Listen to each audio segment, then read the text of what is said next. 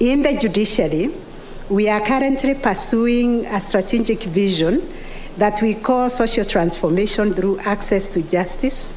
This vision is a continuation of the pioneering judiciary transformation framework instituted by our Chief Justice Emeritus William Mutunga and sustaining judiciary transformation, which was heralded by my predecessor, the Honorable Chief Justice David Maraga.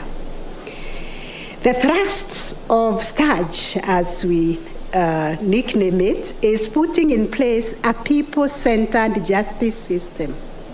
We aim to remove all barriers that have hindered access to justice for the excluded or those you have identified in your policy as uh, being in the bottom of the pyramid. We believe that this perfectly dovetails with the government's agenda.